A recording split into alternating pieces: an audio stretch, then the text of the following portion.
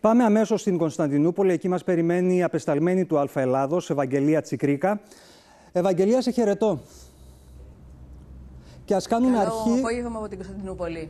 Και ας κάνουμε αρχή από την προσευχή του Ερτογάν στην Αγία Σοφιά, με την οποία ανέκλεισε και την προεκλογική του εκστρατεία, αφού πρώτα διευκρινίσουμε στους τηλεθεατές ότι οι εικόνες που θα παρακολουθήσουμε είναι πλαναρχείου, καθώς η εκστρατεία έληξε στις 6 και τα τουρκικά μέσα δια νόμου δεν μεταδίδουν σχετικές εικόνες.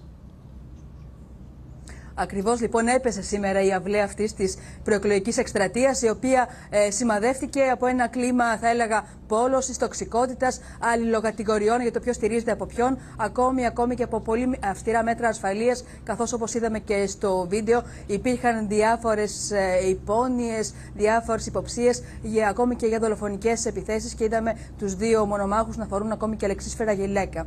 Ο Ερντογάν λοιπόν σήμερα πήγε στην Αγία Σοφιά, την οποία έχει μετατρέψει σε τζαμί από το 2020 για να κάνει την προσευχή. Μια ε, κίνηση βεβαίως με έναν υψηλό συμβολισμό. Και σε λιγότερο από 12 ώρες πια ανοίγουν οι κάλπες εδώ στην ε, Τουρκία και μένει να δούμε ποιος ακριβώς θα είναι ο νικητής αυτών των εκλογών.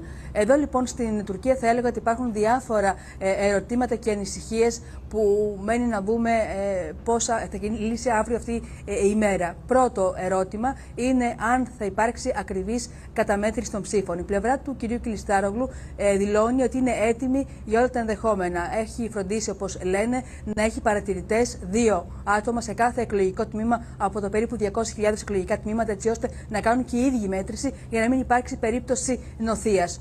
Ένα άλλο ζήτημα το οποίο ε, απασχολεί πολύ είναι η ψήφος των σεισμόπληκτων. Τρία εκατομμύρια άνθρωποι έχουν αναγκαστεί να φύγουν από την περιοχή που επλήγει από τον σεισμό και μόλις ε, το 50% αυτών έχει εγγραφεί για να ψηφίσει. Είναι κάτι το οποίο προφανώς εκτιμούν, ευνοεί τον Ερντογάν. Όμως, τον κύριο Κλιστάρογλου από την άλλη πλευρά φαίνεται να τον ευνοεί η ψήφος των νέων ανθρώπων. Περίπου 5 με 6 εκατομμύρια νέοι ψηφοφόροι. Ψηφοφόροι, παιδιά, άνθρωποι οι οποίοι θα ψηφίσουν για πρώτη φορά προσέρχονται αύριο στις κάλπες και οι δημοσκοπήσεις δείχνουν το 50% αυτών να θέλει να ψηφίσει τον ηγέτη των Κεμαλιστών και μόλις το 20% τον Ερντογάν. Από εκεί και πέρα υπάρχει και ένα ερώτημα αν ο ηττημένο των εκλογών θα δεχτεί την ήττα του ή αν την επόμενη μέρα θα ξημερώσει για την Τουρκία μια δύσκολη ημέρα, μια μέρα που μπορεί να σηματοδοτήσει περιπέτειες ε, για τη χώρα χώρα. Όσον αφορά όμως το θέμα της αποχής, θέλω να πω ότι εδώ στην Τουρκία θεωρείται το δικαίωμα της ψήφου ένα ιερό δικαίωμα και εξ αυτού του λόγου βλέπουμε να μην υπάρχουν ποσοστά αποχής μεγάλα.